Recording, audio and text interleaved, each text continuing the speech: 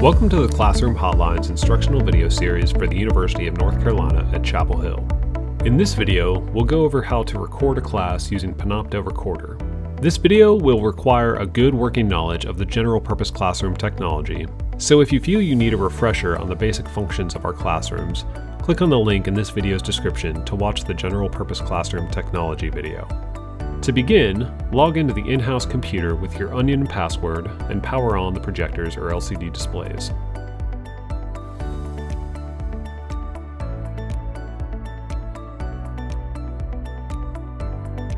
Next, open Panopto from the desktop and click Sign In.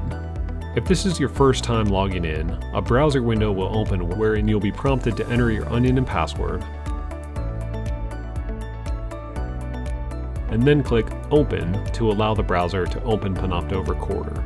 Logging in once will allow you to remain logged in for all future class sessions.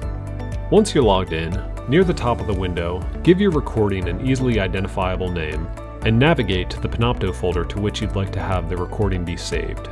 You should be able to see all the folders to which you have access, and you can save your recording wherever best suits your needs. Next, Test your microphone and camera settings to capture the best quality audio and video of your class by looking at the primary sources menu on the left. If your room is equipped with permanently installed cameras, select AV Bridge as your camera source.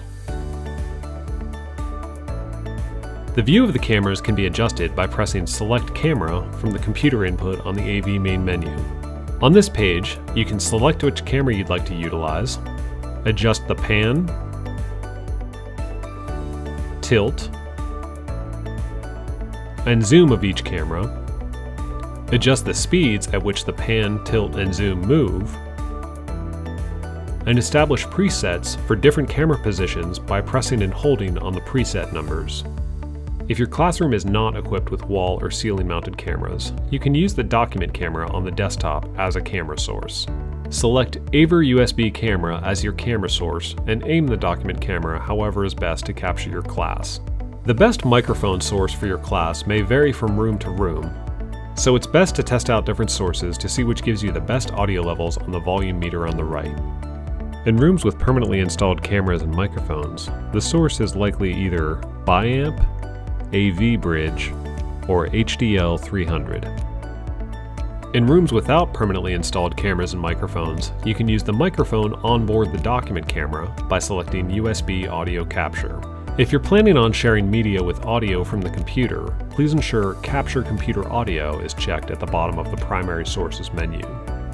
Next, look at the Secondary Sources window in the bottom left and select one or both of the screens on the in-house PC to record as a secondary source. Note that viewers of the Panopto recording will only be able to view one screen as a secondary source at any given time. Once you have your audio, video, screen sharing, and file settings adjusted, you're ready to record, which can be started by hitting the record button in the upper left. When you're done recording, click stop.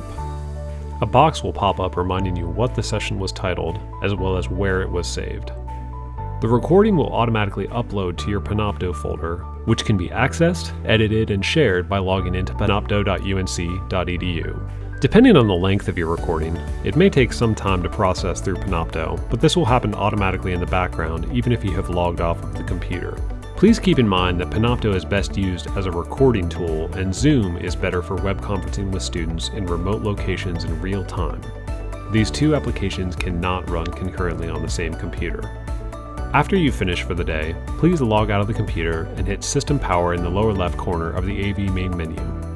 This will help the next instructor by ensuring that the room has been rebooted and returned to its original state for their class. If you're having difficulties using any of our technology or need to report a problem with maintenance or housekeeping in the room, please pick up the hotline phone and one of our tech support specialists will help you right away.